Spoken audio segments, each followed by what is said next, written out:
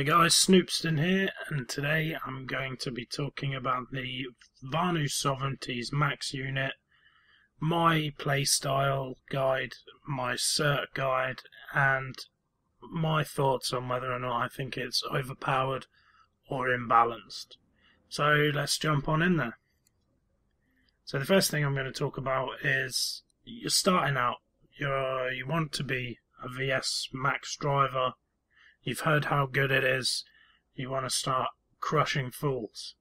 So the first thing I can say is you start with the Quasar VM1 and the Comet, I believe. Quasar left hand, Comet right hand. First thing I would say is dump 250 certs into a Cosmos for the right hand, and then you'll have two fairly competent anti-infantry weapons. I actually Auraxiumed the Cosmoses before I bought Blue Shifts, but we'll go into that a bit later on. So first thing on my passive systems, I run the acquire timer reduction down to two up to the 200 cert mark. Uh, with the way resources are in this game right now, it's 350 infantry resources to pull a max. I don't personally think it's worth going any higher than that. Maxes are very supportable by medics and engineers, and it's just not viable for you to be pulling them any faster than that. In the ability slot, we get to the real meat of the build, this is uh, one of my favourite abilities in the game. It's the Zealot Overdrive engine, which improves your movement speed, strafe speed, and uh, the the overall damage that your weapons do, thus decreasing your time to kill. The Zealot Overdrive is a very controversial ability. The community discusses it frequently, and there's a lot of rage surrounding it. We'll go into that in more detail uh, in the section where I talk about whether or not I think it's overpowered or imbalanced. In the suit slot, I have full kinetic and full nanite auto repair. Again, I'll explain these in the playstyle section of the video. I just want to show you what I personally have set it up and what I run on the max. I've been very successful in the VS max. I average 410 XP per minute and I have a kill to death of 4.2. This is just an old character, so it's not something I play a lot. It's something I enjoy, probably one of my favourite playstyles in the game. And yeah, max, fun, kill everything you see. So, once I finished Auraxium in the, I hope I said that right, the Cosmoses, I moved on to the Blue Shifts. The differences between the two are that the Cosmos has a wider cone of fire, thus making it worse at anything from medium to long range engagements. The Blue Shift, on the other hand, has a much tighter cone of fire, making it good for medium to long range, provided you burst fire the weapon. If you play TR, think Mercies. The Mercies for the max are the equivalent of the Blue Shifts, and vice versa. In terms of anti vehicle, this is a for me personally, it's very much a preference thing. I actually prefer the Comets. I feel that they synergize better with Zoe than the Vortex VM21s, which are the. They look like two pistols in the Max's hands, but they are essentially like a lancer in each hand. Comets allow you to be a bit more aggressive. I find the Vortexes have a longer time to kill and leave you more vulnerable. We'll go more into that in the playstyle section of the video and obviously run your bursters. Bursters and Zoe equals dead ESFs. There isn't much more to say than that. So, in terms of the playstyle for the max, what I tend to do is I will use it uh, with hit and run tactics. You, because of the way Zealot Overdrive engine works, uh, because of the increased damage you take from small arms fire and rockets and such. You're not tanky like the other maxes. You are fast, nimble, and your your playstyle. In my mind, the playstyle is to hit the enemy as hard and as fast as you can, and get out and come back. And that's why I choose between kinetic and nano auto repair.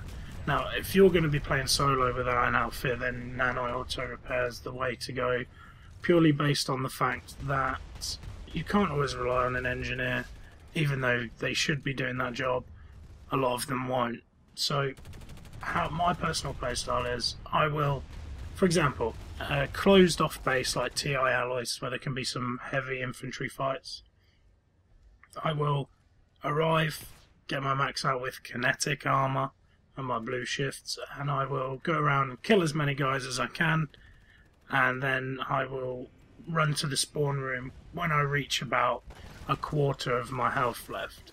And then I'll go to the terminal, I'll re equip auto repair if there's no engineer on site. I'll repair up and I'll go back to kinetic and just keep going like that.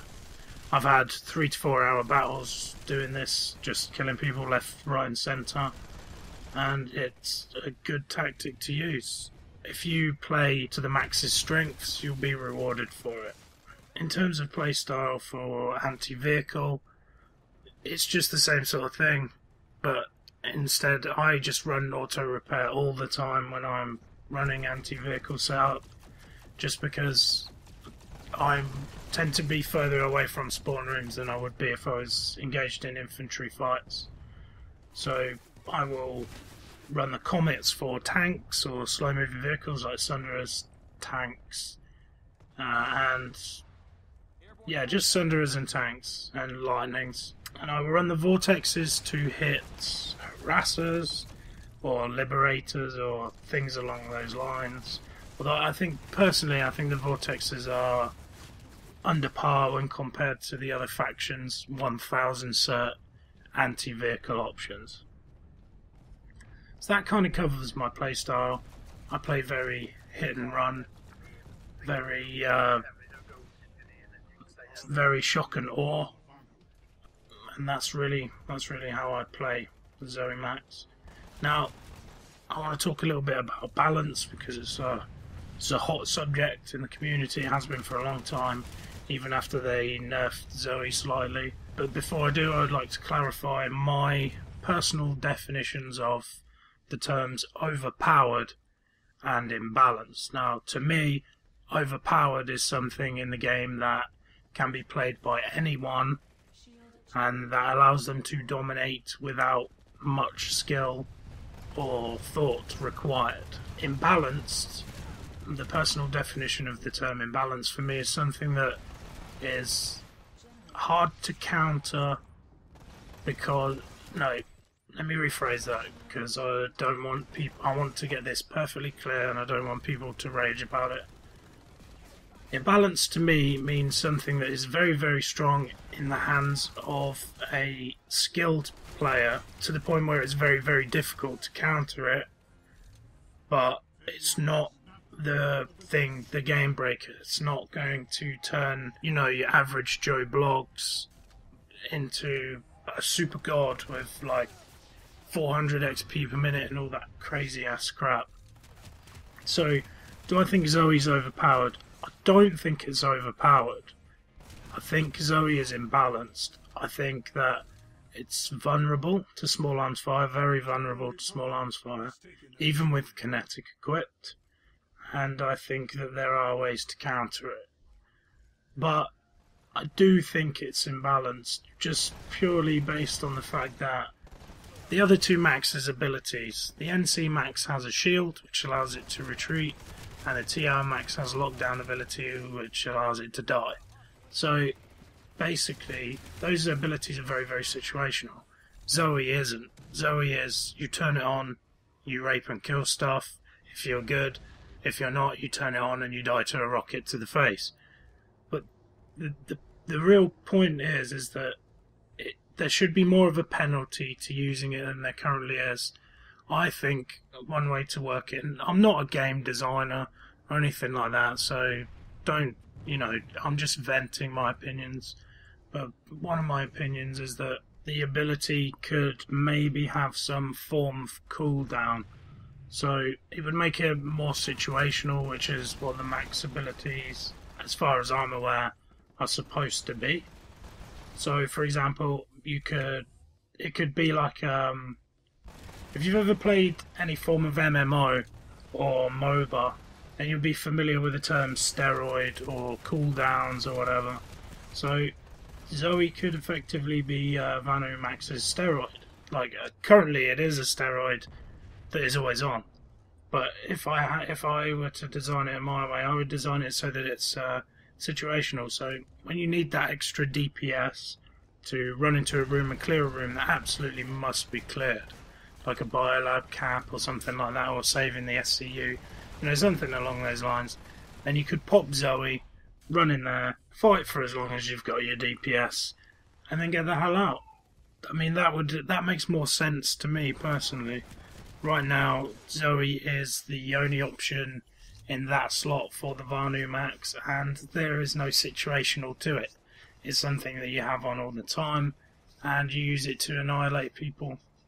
So, those are my thoughts on the Zoe being OP or imbalanced, and that's been my cert guide slash playstyle guide slash thoughts on Zoe Max. If you found this video entertaining, informative, or helpful in any way, then please feel free to like, comment, or subscribe to my channel.